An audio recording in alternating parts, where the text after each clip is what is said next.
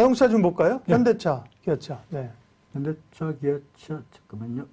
자동차들도 뭐 보면 이제 지금 어, 새로운 성장주로서 그죠? 친환경 성장주로서의 그 오늘 이제 실적 발표에서 좀 밀리긴 했었는데요. 현대차는 어떻습니까? 뭐 현대차 뭐 크게 역시 기준선 위에서 잘 놀고 있으니까 크게 뭐 우려할 만한 그런 상황은 아니라고 보여지고요. 역시 마찬가지로 단기적으로 거래하신 분 같으면 음. 이미 RSI가 여기서 매도 신호가 음. 나왔으니까 어. 이미 여기서는 여기서는 매도 신호가 나온 거고 그게 단기적으로 나 무시할래 나 기준선 위에 갈래 하면 뭐 크게 걱정할 일이 없는 그런 모습이고 음. 아까 삼성전자도 마찬가지로 위쪽에 이렇게 예, 안테나가 달려 있는 그 소위 꼬리가 달리는 모습이다 보니까 음. 위쪽에 아무래도 무게가 좀 느껴지니까 이것을 해소하는데 약간의 시간은 필요하지 않겠냐 뭐 이런 정도죠. 네. 뭐 추세가 바뀌었다라거나 뭐 하락세니까 빨리 파세요라거나 그렇게 만한 상황은 뭐 아니다라고 보여집니다. 지난번에 제가 한번 여쭤본 것 같은데 음. 보통은 이제 봉 차트랑 밑에다가 거래량 차트를 보는데 예, 예, 예. 그 거래량은 저도 봅니다. 물론입니다. 거래량도 아, 봅니다. 예, 예, 보는데 예, 거래량에 넣으면 이제 너무나 복잡해지고요. 아, 네네네. 그래서 어 심플하게 보시려고 심플하게 보려고 네. 이건 이제 방송에서 간단하게 말씀드리려고 보고 있는 거고요. 음. 거래량 당연히 보죠. 거래량 보는데 어, 사실은 아, 정확하게 말씀드리면 저는 이제 사실은 출신이 외환 트레이더 출신이다 보니까 네. 외환 시장에서는 거래량은 큰 의미가 없어요. 아 그렇겠네요. 네네. 그죠. 뭐 그렇죠. 거래량이 하루에 5조 달러씩 거래되는 시장이니까 네네. 뭐 5조 달러 거래되다가 뭐 4조 달러 거래됐다 하여서 음. 의미가 없는 거니까 거래량은 크게 의미가 없고 이제 가격만 보는 거고요. 지금 제가 보고 있는 게 되게 이제 지수 관련 대형주들이니까 지수 관련 대형주 같은 경우에는 거래량도 되게 일정하거나 그러니까 거래량이 갑자기 급증한다거나 급락한다거나 뭐 그렇지 않은 이상은 거래량 가지고는 특별하게 예측할 수 없습니다. 중소형주 같은 경우에는 거래량이 터지면서 예를 들어서 위에 음선이 만들어진다거나 거래량이 터지면서 위쪽에 안테나가 달린다거나 그래서 위에 그저 수염이 달린다거나 네. 그럴 때는 상당히 중요한 그 turning point가 되는 거니까 거래량은 당연히 봐야 됩니다. 그리고 나중에 설명할 cup with handle 같은 패턴에서도 거래량이 상당히 패턴을 네. 인식하는데 아주 중요한 역할을 하거든요. 그러니까 당연히 거래량을 봐야 되죠. 네. 네, 에, SK 에, 웃겨가지고 제가 네? 내일 주가가 급락 나올 거라고 한 번만 말씀해 달랍니다. 제가요? 네. 아, 예.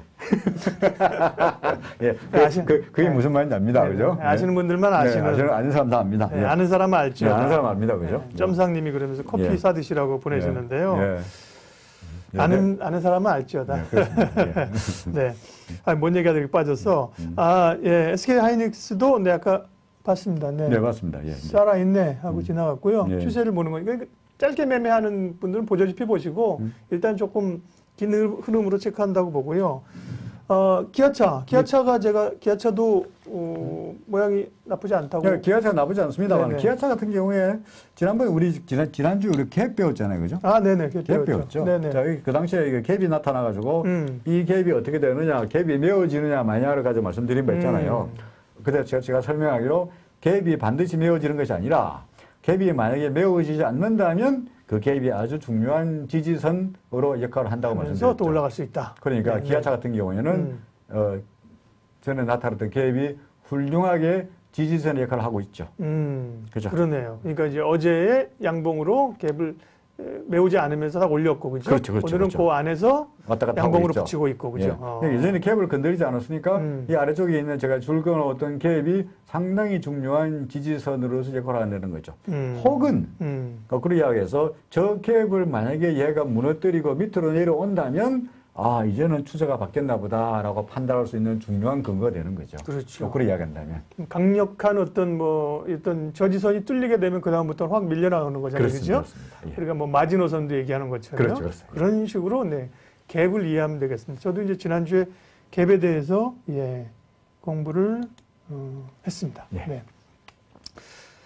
자동차 뭐 그러니까 지금 제가 이제 사실 뽑은 종목들은요 뭐 꼭 대형주라서가 아니라 종목이 얼마나 많겠어요 사실 뭐 여쭤보고 싶은 종목은 한 100개 되는데요 다 할 수 없잖아요 그래서 이제 주요 종목들 중에서 그래도 이제 관심도 있고 소위 이제 좀 살아있는 그런 종목들을 얘기하는 겁니다 대표주들을요 그러니까 뭐 삼성전자 하이닉스 LG전자 현대차 기아차 마찬가지고 음. 2차 전지도 되게 단단하거든요 그렇죠. LG, LG화학 차트 지금 어떤가 모르겠네 네, LG화학도 뭐 네.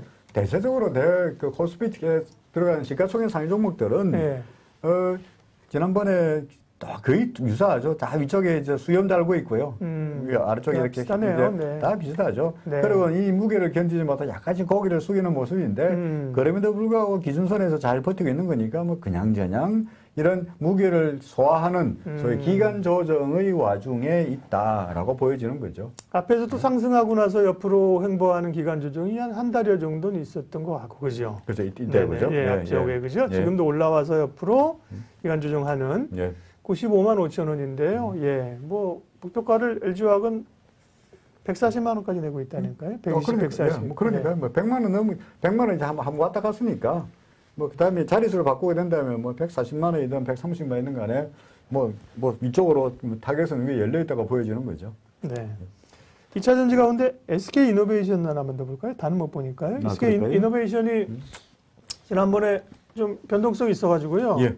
고생하신 분들이 몇 분 좀 여쭤보신 분이 있었거든요. 그래서 예. 그때도 뭐 지나고 나서 하는 얘기가 아니고 그때도 뭐 쫄 필요 없다라고 생각을 했었는데요. 그때 왜, 왜 밀렸지? 그때 아마 이게 LG화학하고 뭐 아, 소송, 뭐 소송 얘기 계속 소송 때문에 뭐 그- 그랬었겠죠. 그랬나. 그 어쨌든 얘는 보니까 기준선 한번 탁 터치하고 올랐네요. 그렇습니다. 예. 예.